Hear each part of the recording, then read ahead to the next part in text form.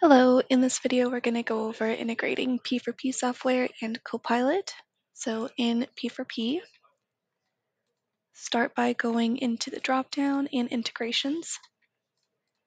Where you log in here is going to be your Copilot credentials.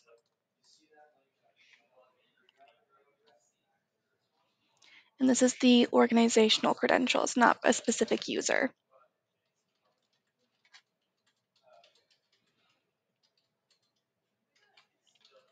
Okay, so you can see that two of them were matched perfectly. There's no icon here. Um, that means that it found this email in both P4P and Copilot and matched them together. This one, it only found the user in Copilot, so it's going to create a user for us in P4P. Um, that will still happen if there is a Bill Brasky in P4P and the emails are different. So you'd want to make sure that the emails are the same before switching. Um, excuse me, before integrating. Before I leave this page, I'm just going to update this to six, budget hour limit. Okay. So if we go to users here, you'll see there's an extra one that is not blue. Blue means it's integrated su successfully with Copilot. This user was not found in the Copilot side. Okay, there's no Marty. We will still be able to make um, any time cards with this user and run payroll as normal. It's just not going to find that user in the Copilot side to be able to pull over any data. So the same happened for this user here. Um, because there is no login enabled for this user, it did not make an automatic one on the P4P side. Okay, so next we are going to verify the synced information. So if we go to the time tracking first. Okay, so we're going to see Ray is me, so there's going to be a couple extra weird ones here. Um, we'll see Bill, Mo, and Mo. So I do see multiple clocks for Mo. They are going to have a break added to their time card to account for this gap in time. Um, and then Ray and Bill will also have their time cards. Bill will be completely um, easy to make one with no break. So let's go ahead and see how that looks on the P4P side. Okay, so you'll see that there are, that is that break that we saw for Mo. Um, and then Bill does not have any breaks. He did not clock out at all. All right. Now we can see how um, all of the squares are blue. That means it's currently pulling the data from Copilot. If there are any changes made on this end, it would reflect on their time cards. If I click Generate Payrolls, it's going to lock in all of these time cards. I can unlock them and have the resync happen. However, if I were to do that after adding manual information, it will get rid of that because it does not match what is being pulled from Copilot.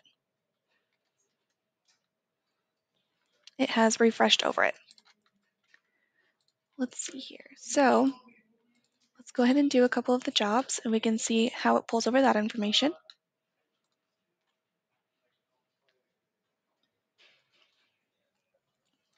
Okay, so this first one is a 0.5 budget hour Mo. It is assigned to Mo.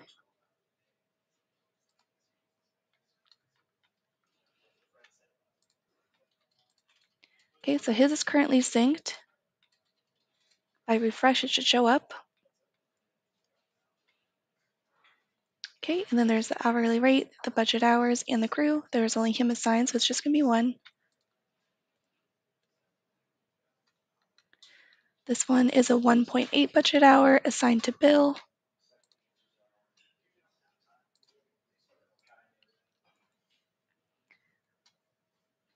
Okay, so this one is locked. That is why we're not seeing it show up here. I can choose to unlock this. It would have overridden anything I had entered, but now it is showing up here.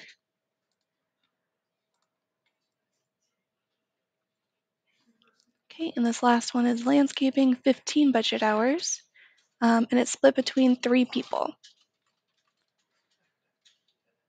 Okay, so when I complete this,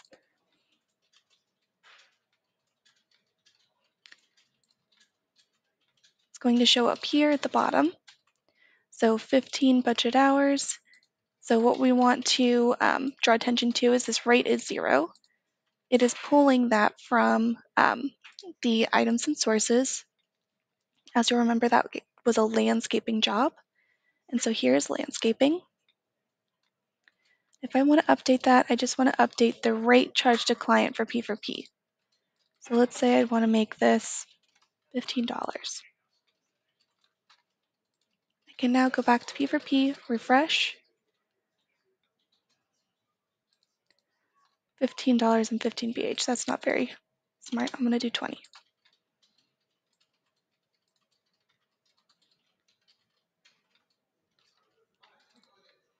Okay, so now we're going to see the hourly rate is 20, 15 total budget hours, and there is three crew members.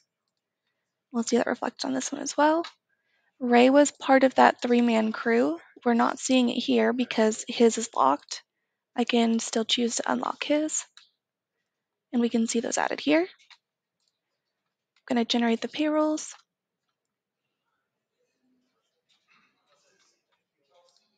And now all of this information is locked.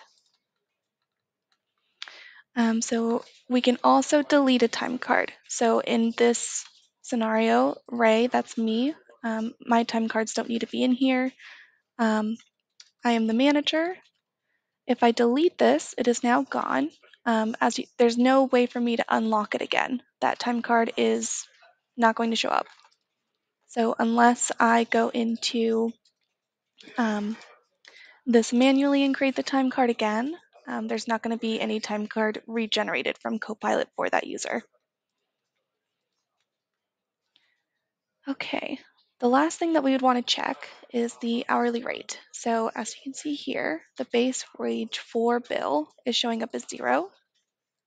That does automatically pull over from Copilot um, if we have that box checked in the integration. And go back to that really quick so we can see. So it is syncing the Copilot hourly wage. That means Bill does not have one listed for his hourly wage. Uh, let me go to Bill. So to adjust that, I can either add the dollar per hour compensation here, or if I'd prefer to not have it listed in Copilot for whatever reason, I can turn that part of his sync off.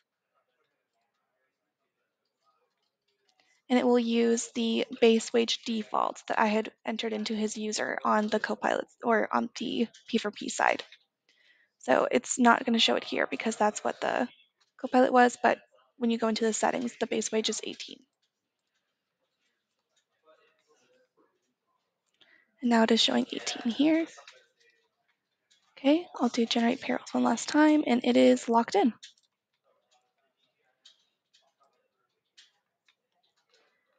All right, we have many more um, improvements coming down the line, but um, this has improved the functionality and the syncing process between Copilot and P4P.